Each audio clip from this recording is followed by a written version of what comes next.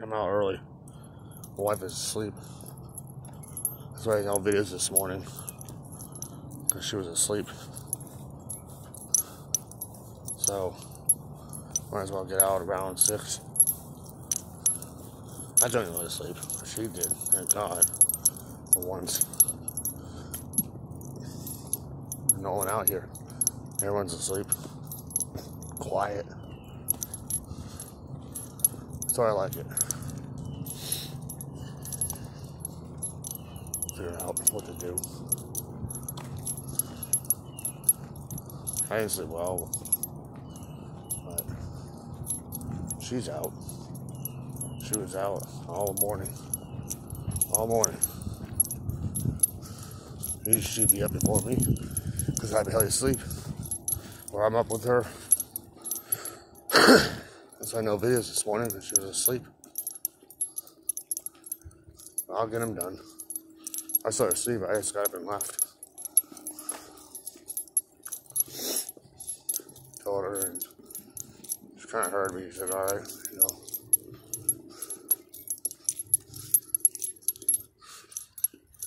So, I'm out. Get here early and get uh, things done.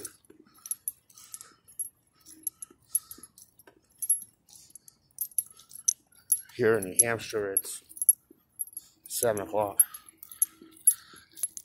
Usually her and I are up at 4. But she was asleep, so. Nice morning. It's alright. Still cold. So you can see frost.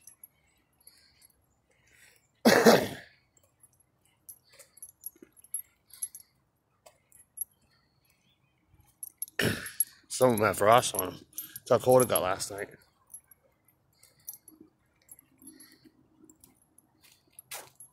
Pretty cool, huh? Do have ACs on. I still have mine on too. These places get so hot, even though with the winter. Gotta have the window open. Well, that's turning my AC on. I sleep in AC all the time. It's funny, you got a frost in June. That's not, that's not quite uncommon in New Hampshire. New Hampshire, you get frost in June. Uh, I remember when I was seven years old, we had a frost in, in New Hampshire on June 25th on my birthday. The night we had a frost. And the day after that, that same day was only in the 50s. That was years ago. Who cares? I like it. I like the cold and the heat. Doesn't get very hot up here in New England. Some days it's only like 90, but it's too hot for me. But we never had 100 degrees here, though. In, Concord, no. Nashua did. 40, well, 40 miles south of here, it had 100. Boston had 100 degrees, but we never did. Hottest we had was like 94. That's unusual though. Happened on a couple times. Usually stays in the uh, low 80s. Today it's supposed to be uh, going to like 72. All right.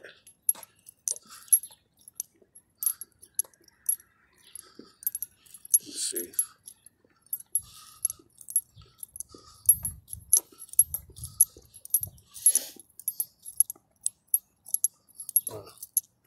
Who that is. oh, metal collectors.